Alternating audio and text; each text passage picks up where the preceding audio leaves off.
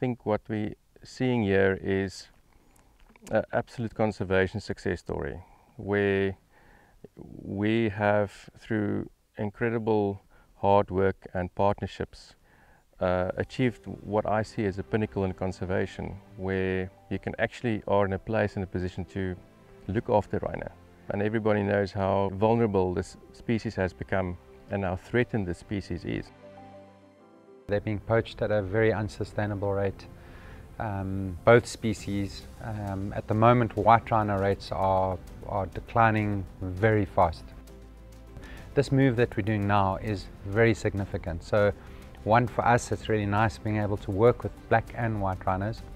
But more importantly, it's a, it's a very nice founder population of rhinos that can be moved to a new recipient reserve. We had this incredible opportunity with Exxaro that came to Peaceparks and they asked us if we are interested to um, look after rhino population that they were wanted to donate. We did our own feasibility and we said, well, we think actually Zinave is the perfect place because of its location, because of what we've achieved here from a conservation perspective. So everything is just right. Um, Exxaro did their own due diligence and they came back and, and, actually they agreed with us. So not only are they donating the rhino, but they're also donating a significant uh, amount of money that helps to protect the rhino in this new habitat.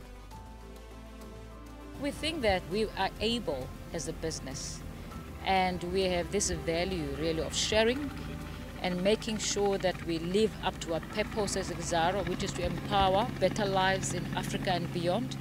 And for us, we believe that we are saving these rhinos from poaching in South Africa. So they will be even safer, you know, in this park. We know that Zinave is one of the best managed parks in, in Africa. when we decided to move these rhinos, we specifically decided that that this project must contribute to the bigger conservation picture of rhinos. Um, and and one of one of the solutions, one of the counters to rhino poaching, um, and there's a whole suite of them, protection being one, education being another, but one of the biggest solutions, contrib contributors to this solution would be to establish new breeding populations in safe areas where they can breed up to significant numbers, basically getting to a point where we outbreed the poaching. That is very similar to what Dr. Ian Player did in the 60s, when there were only a handful of rhinos left in KZN, and he distributed these to reserves all over Southern Africa and actually bred the white rhino very quickly out of, out of a threatened state.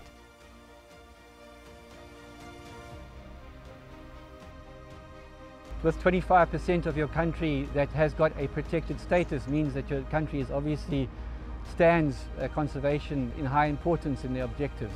Mozambique is somehow externally portrayed as a country that's perhaps not serious about conservation, but it's, it's anything but that. They've very cleverly and strategically taken on partners such as Peaceparks and other NGOs to provide their technical and financial capacity. Long-term agreements, 20, 25 years in the case of, of uh, co-management agreements are signed in the case of Zinave. So there's a long-term plan, long-term collaboration, long-term security, both financially and technically, to make sure that these parks uh, reach their destination as a, as a fully restored ecosystem uh, that is uh, operationally and, and financially sustainable.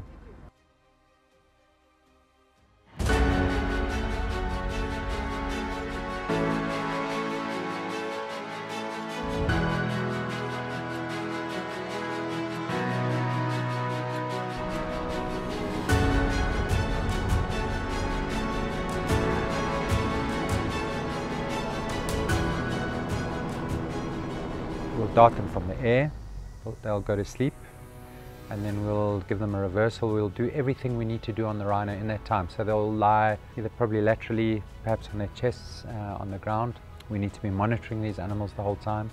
And then there's a number of things we need to do. We need to take DNA tests. There's a, basically a whole data sheet we need of, of, information that we need out of this rhino. So as soon as we're comfortable that we have all of that, we'll reverse the rhino and we'll walk it. And it's an amazing process actually because you you partly reverse the effect of the etorphine um, with a partial reversal. The rhino gets up and you literally walk it like you would a horse. You put a blindfold around its head a rope on the front and the back and with a handful of people you walk it towards a big uh, steel crate and um, walk them in and then reverse them, lift the crate onto the truck with a big hydraulic crane.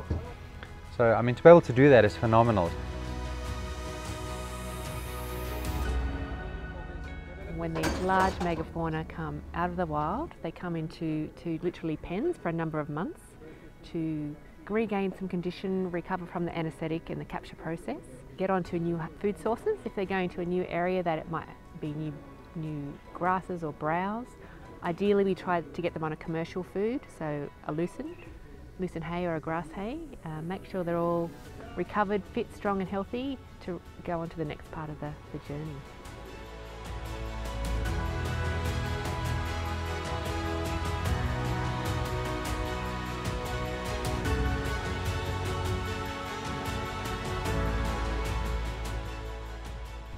So the plan is to move the rhinos from Manketti Game Reserve down to the Maputo through the through the border post uh, into Mozambique, where the rhinos will be released for a few days for a hydration stop. Without watering, uh, without hydrating the animals and feeding them again, there's no ways they could have survived a 60, 70 hour journey. Then they will be loaded up again and transported all the way north to the middle of Mozambique where Zanarth National Park is situated.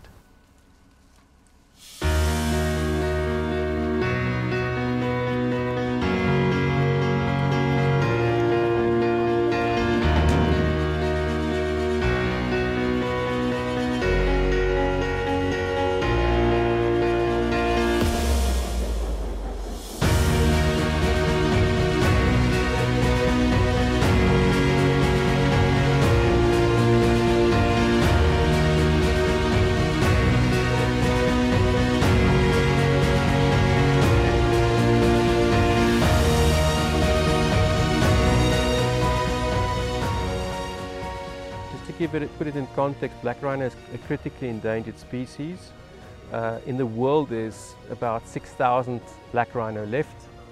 Um, and, and of those 6,000 black rhino, there's about 2,000 black rhino in South Africa. So, you know, if, if, you, if, you, if you think about it, 6,000 individuals. Uh, if you look at a, at a football stadium uh, that has 50,000 people, that, you know, it will not even fill up one tenth of a, of a football stadium. All the black rhino left in the world. So it's quite sad. Eh? Um, so it's, it's a critically endangered species. Um, we have to do everything that we can to give them areas where they can be rhino and where they can be safe. And this is ultimately what this is about.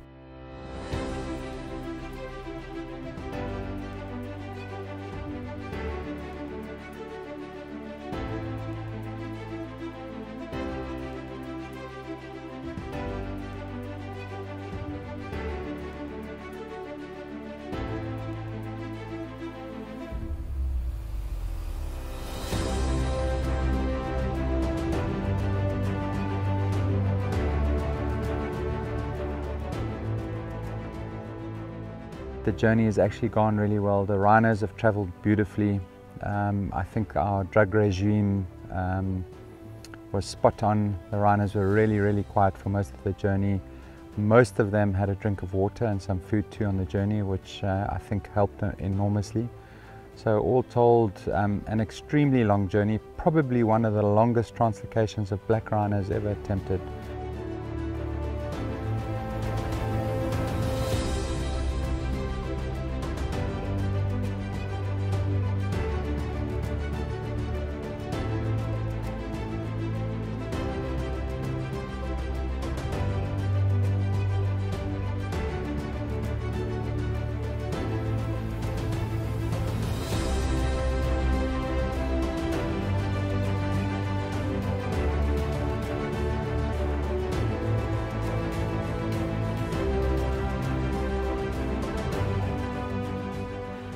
Oh, it's just pure excitement when you see them, eh? Um, when they look at you and they come, that huffing, puffing, uh, looking closer what's going on. Um, you know, it's probably the first time in 40, 50 years that uh, black rhino has, has been in Zinave again. Um, yeah, so it's an incredible feeling to know that we actually at this point that we can bring black rhino here and we're confident in enough that we can actually keep them safe.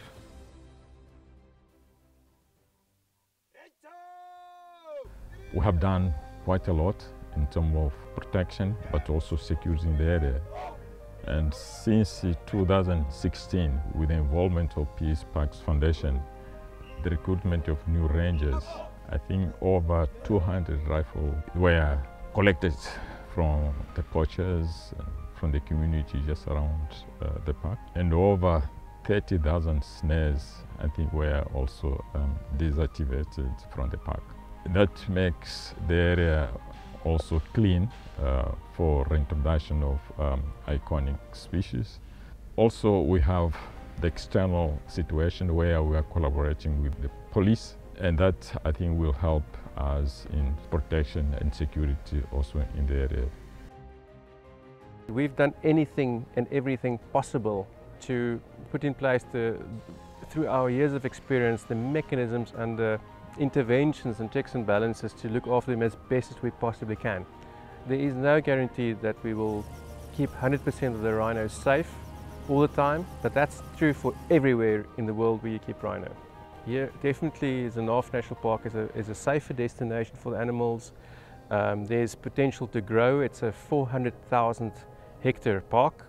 Um, we are moving them to a specific rhino sanctuary so they don't roam the entire area and they're track 24-7.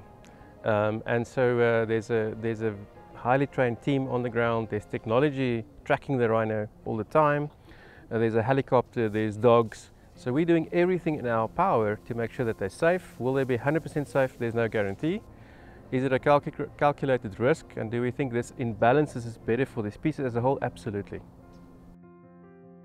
A proteção da biodiversidade é um imperativo universal que juntos continuaremos a lutar para a manutenção do nosso patrimônio natural, pois só assim as futuras gerações irão usufruir do melhor da natureza, sempre privilegiando o nosso sustentável recursos naturais.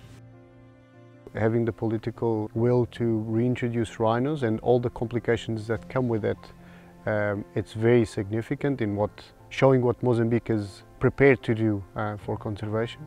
Um, for Zinave National Park, also a massive landmark and, and, uh, and a great opportunity now to um, to make Zinave National Park as a tourist destination, as a self-sustainable, um, financially viable park for the communities and for the Mozambique people. Obviously with, with PPF on board, I think now that's more, uh, that's more real. É preciso entender-se que os parques têm inúmeras oportunidades uh, para as comunidades.